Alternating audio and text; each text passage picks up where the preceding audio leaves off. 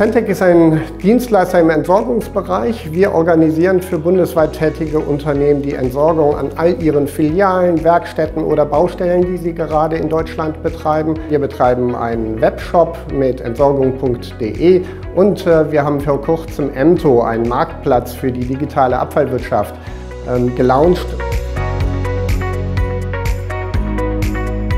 Haben ganz viele mittelständische, familiengeführte Unternehmen äh, mit alten Traditionen, wo wir noch mit Fax arbeiten und wo wir, wir ganz viel mit Papier arbeiten. Also Sie sehen Medienbrüche. Das muss alles modernisiert werden, damit wir abfallrechtliche Vorgaben und den Gedanken des Kunden an einen höheren Service und an Schnelligkeit erfüllen können.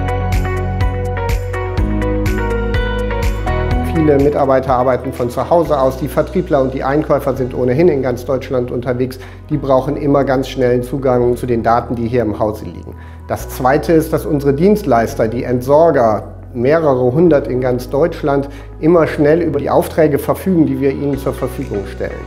Und das äh, Wichtigste ist natürlich für unsere Kunden, dass sie immer zeitnah erfahren, wann hat welche Entsorgung in Deutschland stattgefunden und was ist aus ihren Wertstoffen geworden.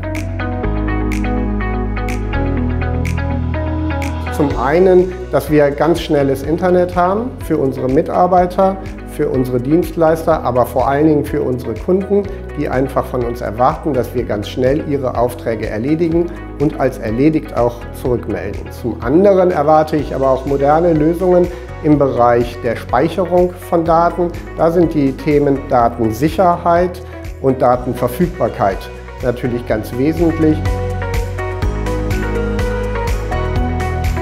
Wir haben uns für NetCologne entschieden, weil wir mit einem mittelständischen Partner auf Augenhöhe arbeiten wollten. Dazu kommt die regionale Verbundenheit zu Köln und schlussendlich natürlich die Qualität der Services und was ganz wichtig am Ende des Tages ist, sind natürlich auch die Konditionen.